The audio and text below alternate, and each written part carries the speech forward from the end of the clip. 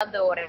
Um, we want to be able to reduce the likelihood of having any kind of bias um, and increase the likelihood that our results are actually going to mean something about this mobile health intervention. So we randomized the selection, but it was restricted. Um, and basically that means that we needed to make sure the ones that we chose in the one region had somewhat comparable health systems in terms of population to facility ratios, and that's at the bottom of the slide here. These are the three that ended up being our final three. Um, and we needed to make sure that the population to facility ratio was reasonable. If it was too different, there might have been a you know another reason why the mobile health intervention was or wasn't working in one place. Um, next, and also we had to make sure there was sufficient mobile network. That was another criteria. So the treatments, as I uh, treatments as I'll mention now, uh, treatment one Woreda, all of the health extension workers, which is about 50, are going to receive a mobile phone equipped with mHealth software that's going to allow them to do a few different things, which I'll explain. Um, treatment two, all of the health extension workers receive their phone to be able to do this, and volunteers who work with them um, on a you know free basis, but people who are even closer to the community than they are will be given dumb phones, simple phones that just make missed calls, basically, um, because we want to test the adding in the volunteers as well. And of course, the third uh, Woreda will be control. There'll be no intervention. So what will the phones be doing? Uh, we can switch slides. Uh, there's going to be four use cases that the uh, use, uh, will be used to do. And I should mention here, um, also part of our team uh, for the intervention is a group called Medic Mobile, which I'm sure many of you are familiar with. Uh, Medic Mobile has a software called Patient View, which we've customized for, for use in this study. So Patient View is going to allow us to do four different kinds of contraceptives at their facilities, so they'll report on each of those. Hello? Oh, okay, okay. Sure, sure. Um, all right, so the second use case will be to improve antenatal care and delivery, and how that will happen is the health extension workers will use Patient View to, via SMS, register every woman in the community with their with their the first date of their last menstrual cycle, which translates to the need to arrange or reschedule an appointment. Um, please switch to the next slide. The third case will be similar to this second case with mothers, but will register children instead to improve vaccination coverage. All children in the Woreda will be registered on the mobile phone via SMS. Their birth date will be calculated into vaccine appointments at weeks 6, 10, 14, and at month 9 for their measles shot.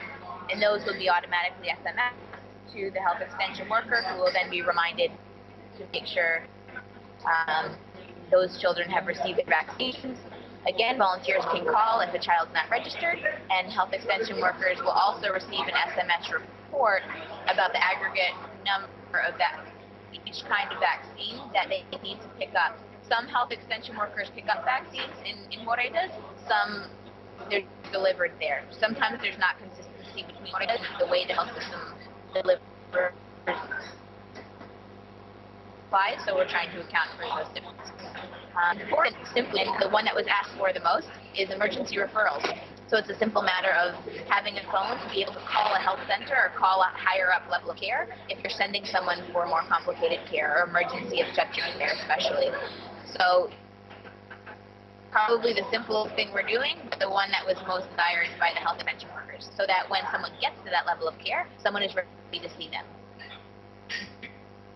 Um, so primary endpoints that we'll be measuring are out contraceptives at the health post, antenatal care attendance, both the timing and the number of visits, uh, instances of clean and safe delivery, instances of deliveries assisted by a skilled attendant. These two things are different according to the Ethiopian Ministry of Health. One involves health extension workers, one does not. It's a detail, but I'm just including both here. Um, immunization coverage and also time um, from a referral to when someone is told they need to seek higher care until a woman is actually given care um, at that place. Secondary endpoints uh, I won't read through them all here, but essentially we're just looking at some qualitative pieces of data, I'm sorry, quantitative pieces of data that will let us know whether or not having this mobile health software has made a difference in the lives of people in these communities. Um, and I'm, I'm purposely keeping this a bit short so we can have more time for questions, but that's, that's essentially the recap of the study. Um, go to the last slide we basically will be uh, wrapping up with the final data collection in June 2012. Uh, we are all hoping to actually continue the study even another year beyond that. So, pending funding, we'll do our best to do that.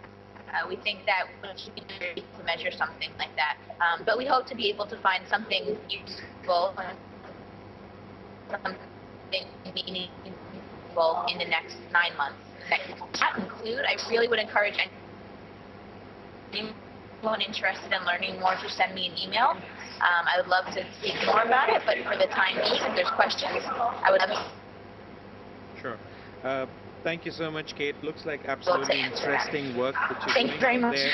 And uh, the use of phones being centric to the work, it's very exciting to learn about the work that you're doing. Uh, with that, can I open the floor up for any quick questions that you'd have for Kate?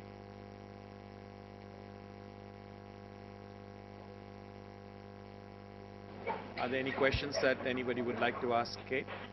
Do you have one question? Can we have the mic up here, please?